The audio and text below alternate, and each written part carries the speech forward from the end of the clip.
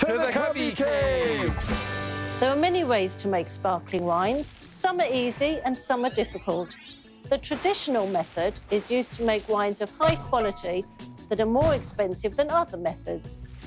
After the grape bunches are pressed, the juice settles to become less cloudy. The clear juice undergoes a fermentation, either in stainless steel tank or an oak barrel. A second fermentation happens after yeast, sugar and nutrients are added to each individual bottle. This is the step that adds the bubbles to the wine. After lying in a cellar for two or more years, the yeast is removed by freezing the neck of each bottle. This is called disgorging. Next, a liquid made of wine and sugar is added to the wine and the cork inserted. After several months, the wines are released for sale.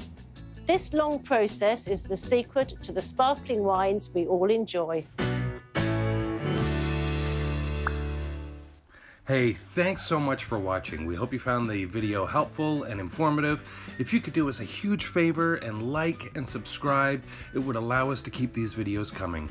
Thank you so much in advance, and we'll see you in the next video.